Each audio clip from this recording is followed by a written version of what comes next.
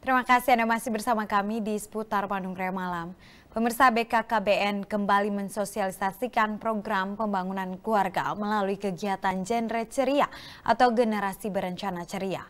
Kegiatannya diisi pemberian materi oleh Kepala Perwakilan BKKBN Provinsi Jawa Barat, Sukaryo Teguh Santoso, Kepala Dinas Pengendalian Penduduk Keluarga Berencana Kota Bandung, Edi Marwoto, dan anggota Komisi 9 DPR RI, I Ketut Sustiawan.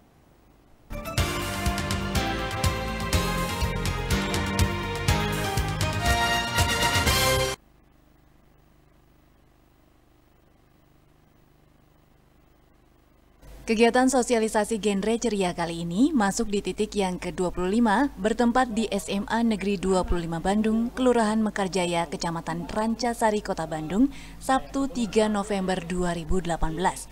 Kegiatan ini merupakan kemitraan BKKBN dengan Komisi 9 DPR RI yang dilaksanakan di Kota Bandung dan Cimahi sebanyak 26 kali dengan empat tema yang diangkat – Tema pertama, sosialisasi pembangunan keluarga melalui generasi berencana. Kedua, penguatan keluarga di kampung KB. Ketiga, pelayanan kesehatan berkaitan dengan kepersertaan keluarga berencana. Dan keempat, pengendalian kependudukan.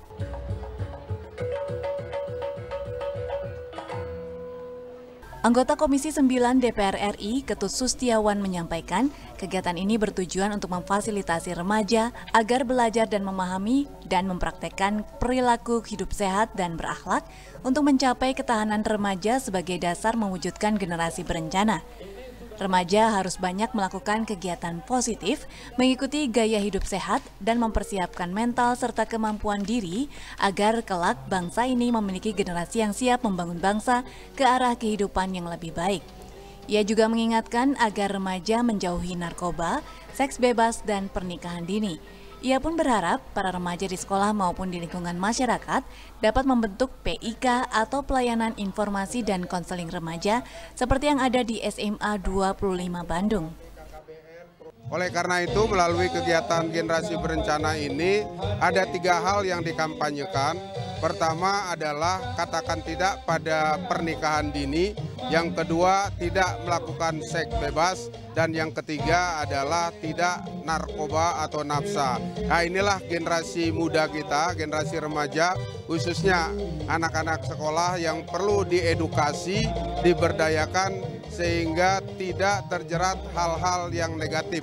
Oleh karena itu kreativitas di sekolah sangat perlu ditingkatkan melalui kegiatan PIK Remaja, Pusat Informasi dan Konseling Remaja, sehingga segala kreativitas, daya, dan pikiran dari siswa di samping belajar juga tersalurkan hal-hal kreatif untuk kegiatan ekstrakurikulernya. Saya kira inilah kegiatan hari ini yang ditujukan untuk mengedukasi para remaja khususnya usia sekolah.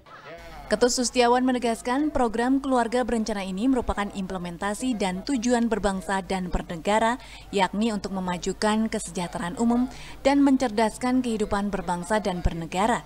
Remaja harus mengikuti keluarga berencana sejak dini agar paham dalam mempersiapkan keluarga yang lebih baik sehingga memperkuat bangsa. Tim Liputan Bandung TV